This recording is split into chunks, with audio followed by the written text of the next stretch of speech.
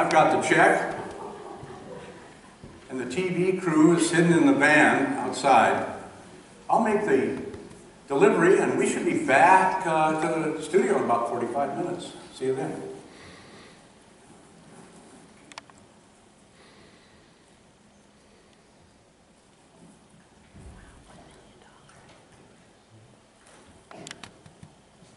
Well, I don't know. I, I thought someone was home, but it looks like uh, I rang the doorbell three times.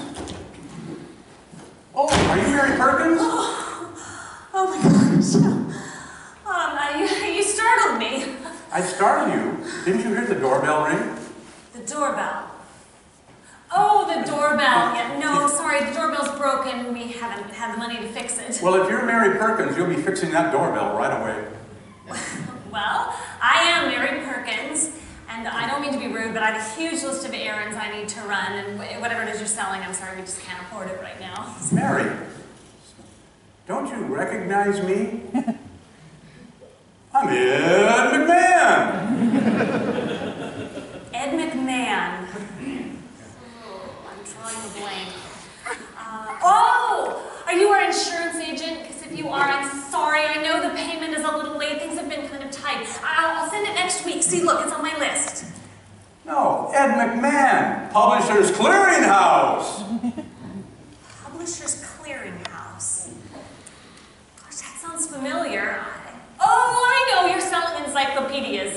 Yeah, No, Miss. Perkins, not encyclopedias, sweepstakes. And I'm here to tell you, you've won big time. With this check, you'll be going straight to the bank. Bank. The bank closes in 10 minutes. Oh, see, I bounced a check and I've got to go take care of it. And all those service charges piling up. I'm sorry, Mr. McMillan, I really got to go. I'm late. M- man, if you just stop and listen to me. Mary, you have bounced your last check. Yeah, I know. I bounced the last one and the one before that. And then I bounced the one before that, too. And listen, I got to go. I, I also have to return this toaster to Walmart. I got it home and realized we really can't afford a toaster right now either. Sorry. But you can. Mary, just listen to me. Your life is going to be completely different. Things are going to change. Change. That's another thing. I gotta change those tires on my old minivan. I Gotta keep that hunk of junk on the road. I've been driving around for six months with four bald tires, and one of them has developed this really scary bubble. It's gonna burst any minute. Ted, I'm sorry. I'm late. I've gotta go. McMahon, Ed McMahon. Mary, just listen to me. I've got this huge check here for you. There's a TV crew out in the van filming this right now. Mary, this is a sweepstakes delivery. Delivery. That's the thing I forgot. I gotta call the newspaper and cancel the delivery. Gotta cut corners wherever we can. I think I'll just add it to the list. Mary, just listen to me. You don't need to, that, that list means nothing anymore. With this check, everything's going to change and you keep working on that stupid list. Yeah, Fred, lists are important. Apparently. Oh, in fact, let me have that list. Let me What? add just one thing to that list. One thing, I- but I'm so busy Oh, oh, already. I- Calm down, calm down, Look at it. all right. Look at it. Deposit Ed's million dollar check in the bank. Deposit it. Hallelujah! Hallelujah! Thanks to Jack! All right!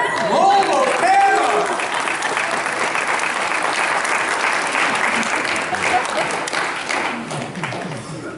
You know, Easter really is all about doors. There's the obvious one that you probably think of first the door of that tomb that is open in this central, decisive miracle of God on the first Easter. The stone that was rolled away as God the Father raised Christ the Son. But there's another door. And it's the door of our lives. It's the door of our identity. It's the door of our heart. And that door matters because Jesus is not in that tomb. Jesus is raised. Jesus is alive. In a miracle that we can barely understand, God has raised Christ and sent him into the world on a mission of calling all creation back to him. And what that means is that he's knocking on the door of your life. And He's calling for you to open that door and to invite Him in. This might be a new idea to you. Maybe you've never heard anything like this. How would you do that? Well, it's really simple. Jesus says that uh, the kingdom of heaven is revealed to children. Well, three simple words that we all use, learn as children are really all it takes.